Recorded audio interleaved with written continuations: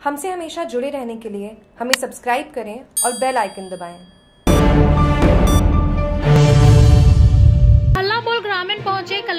कार्यालय के बाहर धरना प्रदर्शन, जिला कलेक्टर लोक बंधु को ज्ञापन सौंपा, ग्यारह सूत्री मांगों को लेकर ज्ञापन सौंपा। केरन वेदांता कंपनी द्वारा स्थानीय युवाओं को रोज़गार नहीं देने से पिछले चार दिनों से धरना मंगला टर्मिनल के सामने चल रहे अनिश्चितकालीन धरना जारी। केरन वेदांता कंपनी द्वारा स्थानीय युवाओं को रोज़गार नहीं देने के कारण मंगला टर्मिनल को आसपास 11 प्रभावित ग्राम पंचायतों के ग्रामीण से चार दिनों से मंगला टर्मिनल के पास शांतिपूर्ण तरीके से धरना दे रहे हैं, लेकिन कंपनी के हटमिता के कारण अभी तक ग्रामीणों की समस्याओं के समाधान की तरफ़ कोई सकारात्मक कदम नहीं उठाया गया। ग्यारह ग्राम पंचायतों, मुंडो की ठानी, बांद्रा कवास, व कावखेड़ा भूटिया, मातासर, आदर्श ढूंढा लाखे टाली रोहिला, कपूरडी बोथिया भाड़का खारिया, तला, यहाँ के ग्रामीणों ने इस उद्देश्य से कंपनी को ज़मीन दी। हमारे क्षेत्र में युवाओं को कंपनी के रोज़गार मिलेगा। कंपनी ने ग्रामीणों को लोक लुभावने वादे भी किए, लेकिन वर्तमान में स्थिति है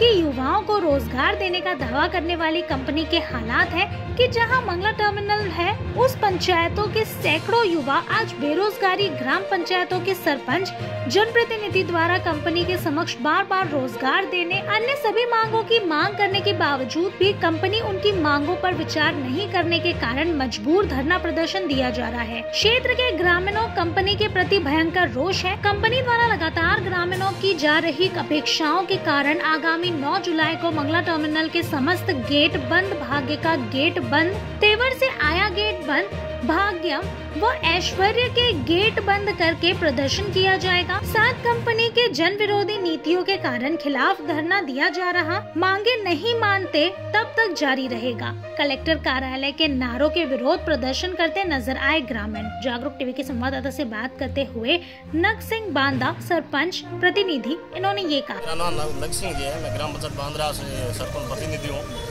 हम ये लगातार लगभग पंद्रह दिन हो गए हैं ये धरना प्रदर्शन कर रहे हैं। कई बार हम कलेक्टर साहब को ज्ञापन दे चुके हैं। हमारी कोई नई सुनवाई हो रही है। अभी हमारे को और आंदोलन करना ही पड़ेगा लास्ट में। कल हमने मीटिंग भी हुई थी मेरे प्रशासन साहब साहब के साथ में। और ये कहने वाले भी थे मांगे नहीं मानी है। ये कोई मान मांगे मानने के तैयार नहीं है। हम लोगों को युवाओं को रोज़गार देना चाहते हैं। ये न तो रोज युवाओं को रोज़गार दे रहे हैं न तो सी एस आर फंड ग्राम पंचायतों में खर्च कर रहे हैं। आज हमने दो घंटा आंदोलन किया था। रोड रास्ता रोककर और हमारे आज तो हमने बिल्कुल शांतिपूर्ण किया। अब हम आज ज्ञापन देने के बाद में तीन दिन बाद में पूरा आंदोलन करेंगे आगजनी भी करेंगे। बिल्कुल।